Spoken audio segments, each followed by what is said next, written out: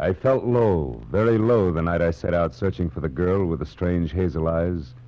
The fog which hung over Los Angeles didn't help. And I felt even worse when I found her. For by then I had death on my hands.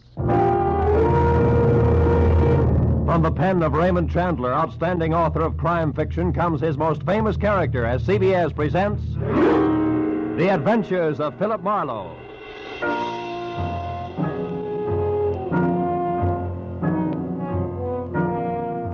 And now, with Gerald Mohr starred as Philip Marlowe, we bring you tonight's gripping story The Persian Slippers.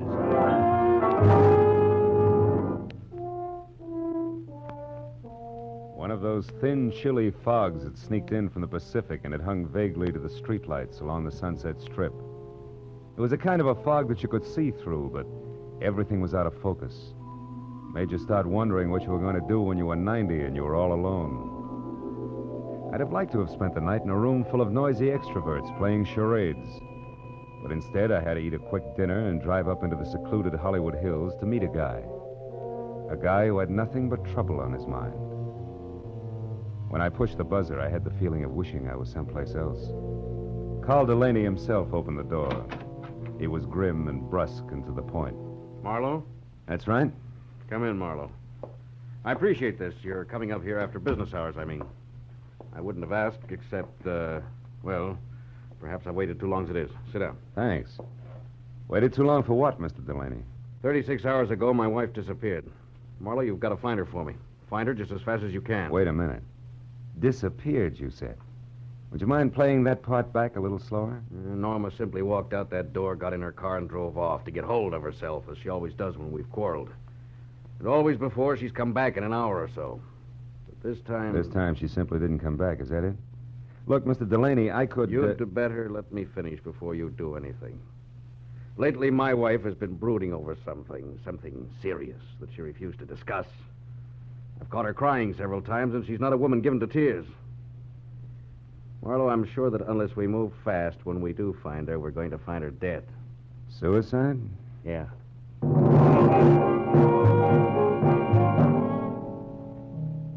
His thick, blunt hand, Delaney reached for a color portrait lying face down on the table and gave it to me.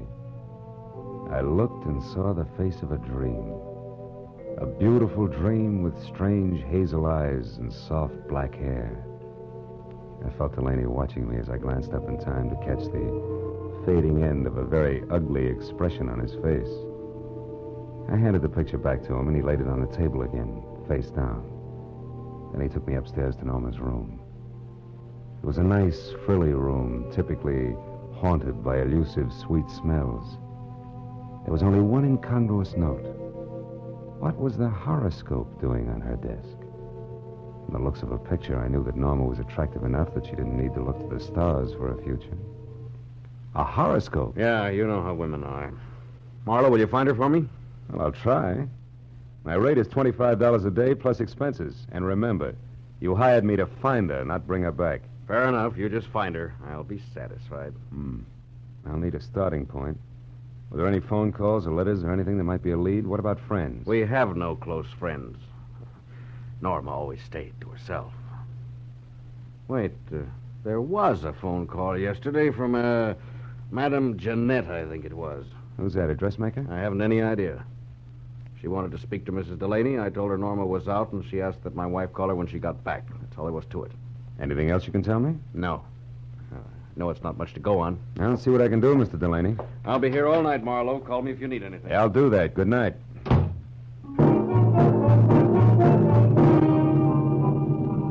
I drove back through the persistent fog to Sunset Boulevard.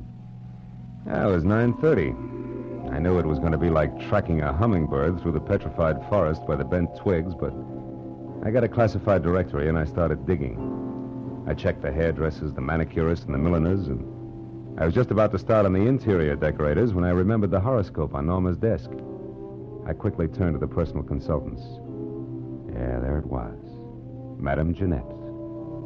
Her establishment, located in the dubious neighborhood south of Olvera Street, turned out to be a tacky cottage set back next to an alley. It was as dark inside as out. I was pounding on the door like a vampire at sunrise when a newsboy came up the path. Looking for Madame Jeanette? Yeah, yeah, you know her? Sure, she tells fortunes. Says I've got a great career line. You want to see it? Not right now, thanks. And I'll say for her that she's a sound sleeper. Maybe, but not so early as this. About this time, she's always hanging around that bar on the corner. Tonight, she's throwing a farewell party in there. Farewell party. Who for? Herself, she's leaving town. Oh, thanks a lot. Here, kid. Gee, a buck. My old man'll swear I've been shooting crap again.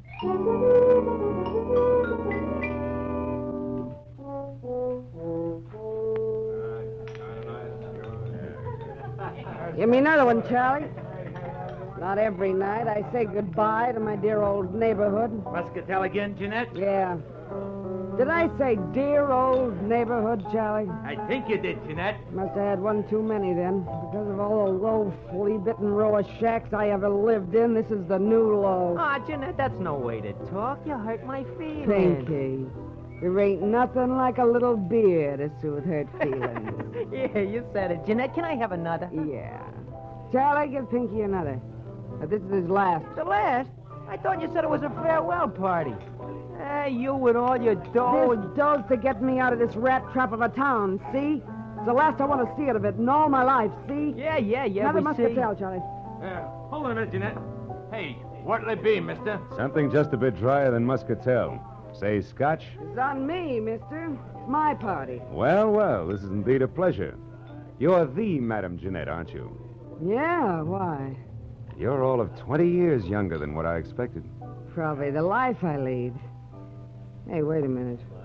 Why should you be expecting anything about me? I don't know you. Perhaps not. But I know you. From where? Oh, you're more famous than you think. Your reputation has spread far beyond Olvera Street. In fact, it's gone up as far as the Sunset Strip, Madame Jeanette. No kidding. How would you kid a fortune teller? Don't you know all, see all, and tell all? Well, And judging from that Spanish shawl, your Hungarian skirt, and those embroidered Persian slippers, I'm beginning to think your fame is not only local, but international. say, you're beginning to make me feel like I shouldn't be giving up this racket after all. Giving up fortune telling? No. Yeah. I'm leaving town on the midnight train. Gonna spread my talents all over the East, and I'm not coming back. Don't tell me your crystal ball has laid a golden egg. So to speak, yeah. I come into some lettuce. Suddenly. That's always nice. Well, I guess it means you won't be interested in the few paltry dollars I'd intended to spend with you. Hey, can I have another beer, Jeanette? Shut up, Pinky Blow! Ah, just a... Traveling lady can always use a little extra moolah. What was it you wanted, Bud? I'm looking for someone. Norma Delaney. Norma. De- I'm afraid I don't know anybody by that name. I'm afraid you do. What's your angle? Who are you, anyway? I'm Philip Marlowe, private detective. Some private dick you must be to have to resort to fortune tellers. Come on, Jeanette. Look into your crystal muscatel. See if you can spot Norma Delaney. I told you once. I don't know the name. Now blow. Just a minute, Doc Eyes. Hey, Charlie. Yeah? This bird's crabbing my party. What kind of a joint is this, anyway? Lady can't sit here and have a farewell party without being insulted by every jerk that drops in. Well, mister, I haven't finished my drink yet. you got pockets, ain't you? Just pour the drink into one of them and take it along. You ain't finishing it here. Charlie reached under the bar for his pick handle, so I left without pursuing the subject further. But I knew Jeanette was lying, in her purple lipstick about Norma. I walked back to my car, lit a cigarette, and spent a few precious minutes trying to decide whether or not to break into her place and snoop. Then I caught the shadow of a figure slipping up on me from behind. I turned. Wait, wait, don't swing, Mac. Don't swing. It's only me, Pinky. I, I was in the bar when you was talking to the madam. That tightwad Jeanette. Yeah, I saw you, so? She did something the minute you left. I figured you might like to know what it was. It all depends. Well, I, I thought it might be worth something to you, like a saw, maybe. Come I- on, you. no, Spill it. Wait a minute. Spill wait, it. If it's any good at all, it's worth a five and no more. Oh, all right, all right. She, she made a phone call. Who to? What'd she say? Nothing. Just some swear words in Spanish. The line was busy. well, I, I kept my eyes open and I got the number. All right, let's have it. If you can still remember it. Oh, I, I can remember it easy. Uh, five first, huh? Here. Thanks. Uh, the number was Crenshaw, 1929. But you get it? like the year of the big crash.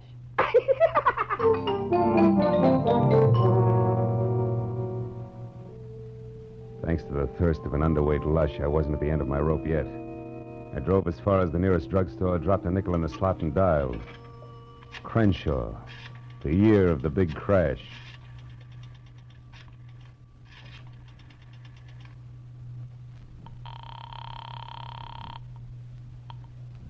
Hello? Hello, let me speak to Norma Delaney, please. I'm afraid you must have the wrong number. Look, you, I'm trying to locate Mrs. Delaney. I suggest you help me. How did you get this number? From a client, Mr. Carl Delaney. But that's impossible. Let's stop sparring. We can save each other a lot of wear and tear if we get together and talk this over. Uh, maybe you're right. Yes, that sounds sensible.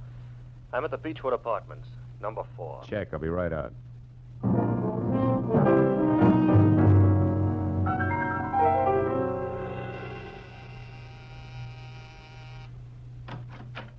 Mr. Uh, Pierre Gillum, it says here on the door. Yes. Are You the man who called? Uh huh. Philip Marlowe. Come in, won't you? You said you were looking for Norma Delaney, Mr. Marlowe. Tell me what's wrong. Has anything happened to her? Well, her husband seems to think she might have killed herself, but I have a hunch that you might have something interesting to say. No, poor kid. Poor Norma. Well, I'll tell you what I can, Marlowe, but it isn't much. Oh, I'm all ears, and I'll sit, thanks.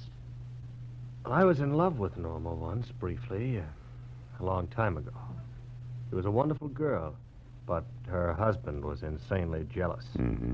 Even though she hadn't loved him for years, he refused to give her up. He even threatened to kill her first. No? Norma and I realized that serious trouble lay ahead, so we parted. Good friends. And I haven't seen her or heard from her in months. I buy it all but the last line. You have seen or heard from her, and recently. I'm not going to argue that. I've told you the truth. You can take it or leave it. I leave it. I Suppose we both put our cards on the table. You lied to me when you said Carl Delaney gave you my number. I know because Madame Jeanette called me shortly after you did. Touche. But uh, why did she run to call you at the mention of Norma's name if you two broke up months ago? And incidentally, how did that ersatz oracle Jeanette get mixed up in this in the first place? That is a long story, Marlowe. Good, I like long stories. I'll bet it begins just for a lark. Norma and I went down to Olvera Street once to have our palms read. Yes, that's exactly how it started. Madame Jeanette was an unusual woman, a, a character, you might say. uh-huh. Well, we became friendly with her. Norma got quite sentimental about her. One day we made a sort of uh, pact. If ever either of us was in trouble and needed the other, we'd go to Madame Jeanette or get a message to her. She would notify the other. So when I walked in asking for Norma, the madam assumed she was in trouble. Right, right. Called me immediately because she herself was leaving town in less than an hour. I know. Well, Mr. Gillum, it's all very interesting, but it's getting me no place. Thanks. If I need you oh, again. no, uh, wait, Marlowe, don't go. Hmm? Uh, I know a lot of details about Norma that, uh, that I'm sure will be helpful. Uh, for instance, she, she drives a Nash Coupe, a powder blue. Powder blue coupe, huh? Thanks, that'll help. Oh, and, and uh, uh, she has a fondness for white gloves. Wears them quite often. I see. Well, I better get moving. no, no, uh, wait just a minute, Marlowe. I've got to go. Now, listen, Marlowe. I told you I was in a Now, hurry. take it easy. Stick around a while. Get away from that door. Look, just who do you think you are? Come busting in here, prying, asking questions, you dirty. Oh! You asked for it, Gillum. Ah, oh! You got a left, too, huh? So have I, brother. Gillum sprawled all over his coffee table, as limp as a five cent salad. Outside, I glanced at my watch. Madame Jeanette's train left in 40 minutes. I ran through 22 bucks worth of red lights, getting down to a cottage because I was sure Gillum's attempted stall was tied in with the departure, but I couldn't figure out why. That is, I couldn't until I switched out my lights and coasted to a stop in front of her place. Then I saw it. Half hidden in the shadows back of the house sat a powder blue coupe. I got up on the porch close to the front door and listened. Jeanette was talking to a woman. I couldn't catch what they were saying, but one thing was certain. The woman was Norma Delaney. All at once I realized the talk had stopped. That was my cue. I shoved open the door and went in. Jeanette sat at a table alone, facing me. Well, Mr. Marlowe, you've returned. What is it this time? I'd like my fortune told. Yeah? Now listen close, Gumshoe. I'll make this a short and snappy reading because I'm catching a train in 15 minutes. There's a woman very close to you. In fact, she's right behind you, sucker. What? Oh!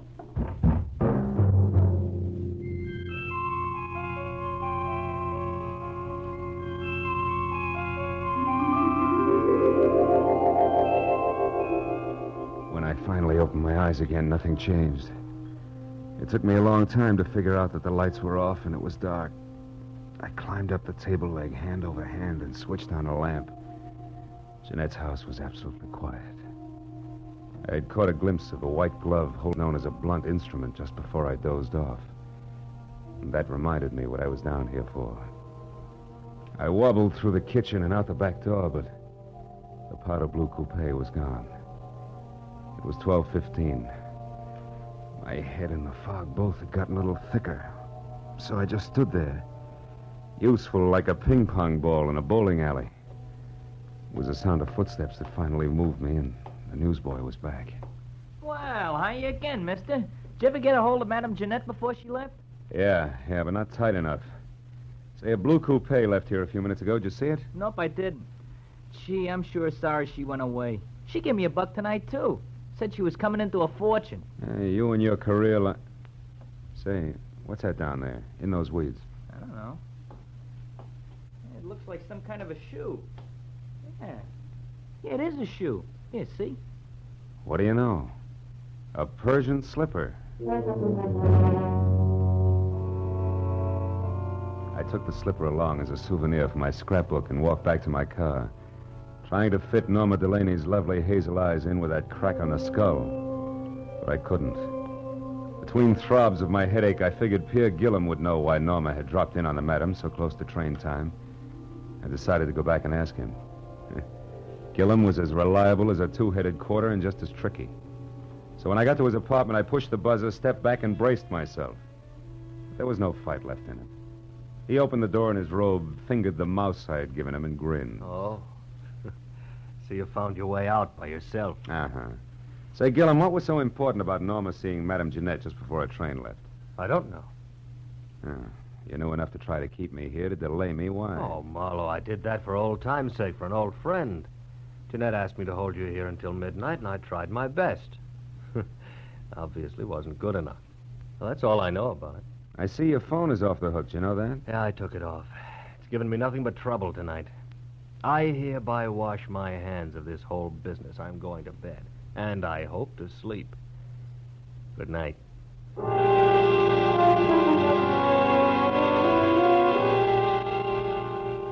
I envied him and left to call my client, Carl Delaney. He said he'd be in all night, but the phone kept ringing and ringing, and no one answered. I suddenly got a very creepy feeling. And 20 minutes later, I pulled to a stop at that small but elegant house. The lights were on, and I saw the powder blue coupe in the garage next to Carl's big black sedan. I ran up the steps. The front door was ajar, so I went in. I found Carl Delaney in front of the fireplace, face down on the floor, dead.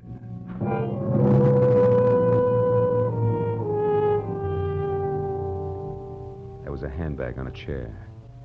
I opened it. Compact cigarettes and a key to room 340 in the Bradford Arms Hotel. No identification. That color portrait of Norma was standing up on the table this time. And those searching hazel eyes seemed to follow me all the way to the telephone.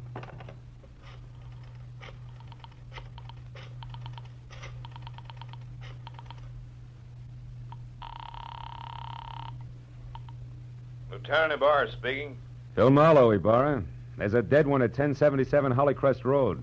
Named Carl Delaney. Murdered. I'll be right out. Hung up the phone, and then the hair on my neck crawled as I heard the unmistakable sound of a woman's heels on the floor upstairs. I ducked behind a door as the heels clicked down the steps. And then she entered the room.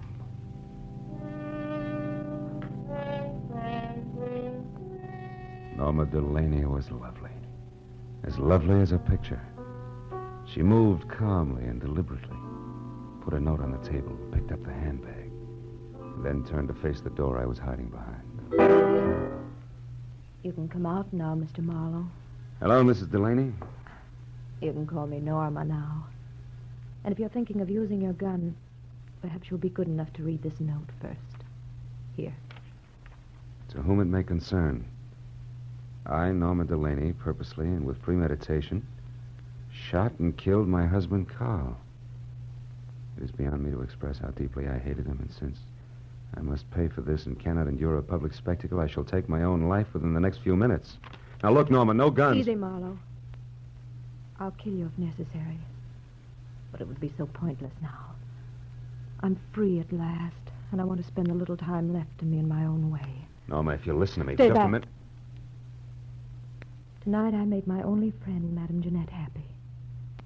And I killed a man who needed killing. Something good, something bad. So I'm quitting, even up. What do you propose to do with me? You mustn't try to stop me, Marlowe. See that closet? Mm-hmm. Get inside. And careful how you move your hands. Turn around to the wall. That's it. Marlowe, I'm sorry I had to hit you at Jeanette's tonight. Goodbye.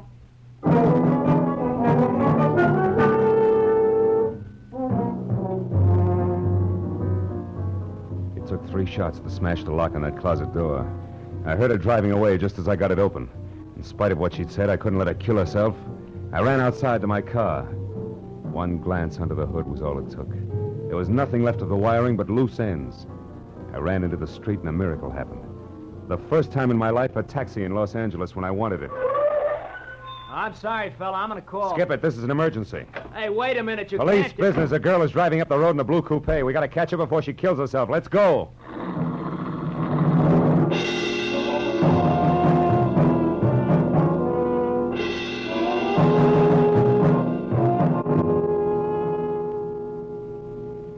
I saw taillights just then. Yeah? Can't you go any faster? Not on these curves, brother. I got a wife and kids. Okay, fella. We'll be at the top of the hill when we can get around the next bend. We should spot her then. Yeah, you can see the whole road down the other side.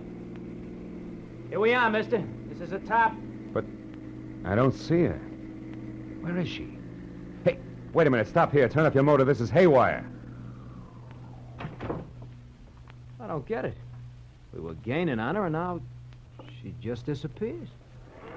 Hey, what's that? A motor. That side road we passed. That's it. Hey, look. Look!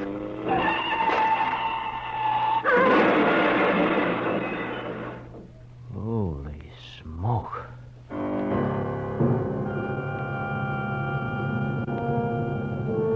We both saw the awful sight for just an instant. A powder blue coupe with a woman crouched over the wheel. It shot out of that side road, crashed through the guardrail, and fell end over end down into the gorge. By the time we got to the hole in the fence, the wreck was an inferno. No, no use trying to get down there. The whole hillside will be on fire in another minute. I guess she pulled over here into this side road and waited for us to go by. And we did. Yeah, it's sandy here, too. So wonder she didn't get stuck. What's the matter? There's something buried here in the sand. One of her tires ran over it. What is it? Why, it's, it's plenty, brother. Come on, turn that hack of yours around. Let's get off this mountain. I just found the answer to a lot of questions.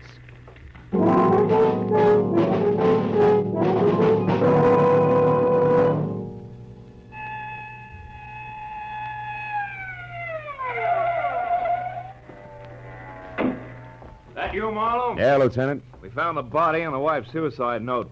And one of the boys spotted that fire up on the hill. What is it? Car went off the road. An accident? Or the suicide? Just a little of both, Ibarra, but we'll talk later. Right now, we got to go to the Bradford Arms Hotel on the double. And please, no siren.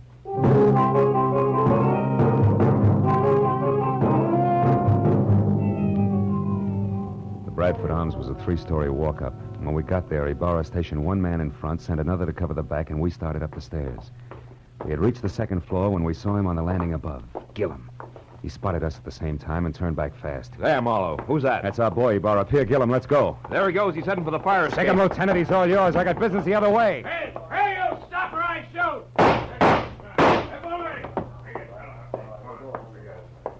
Room 336, 38, ah, 340.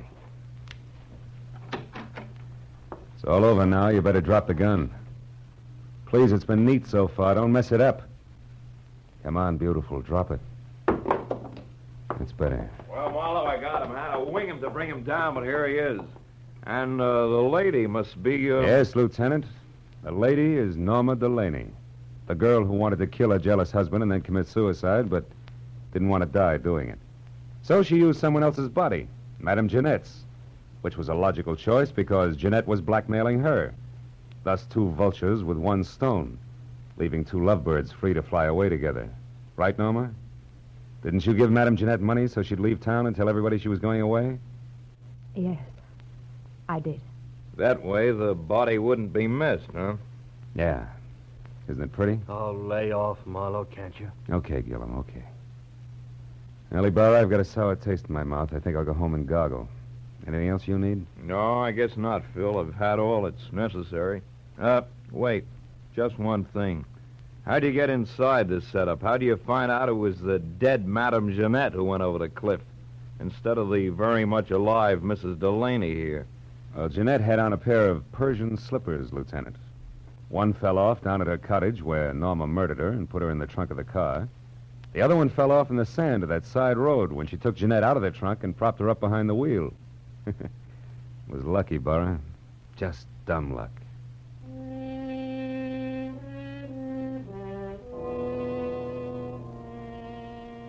I took a walk later. A long walk. All by myself. Through that thin, empty fog in the dark, empty streets. A pair of hazel eyes and a pair of Persian slippers went round and round in my head.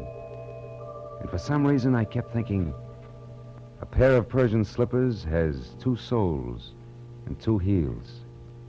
And it's hard to tell just exactly where the one becomes the other.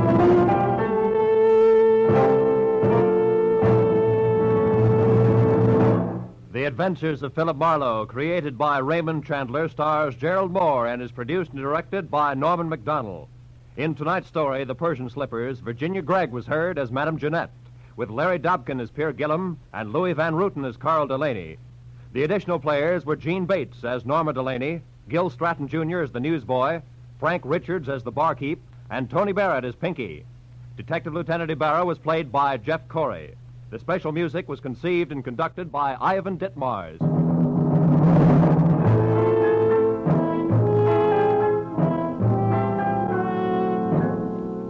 Be sure to be with us again next week at this same time when Philip Marlowe says.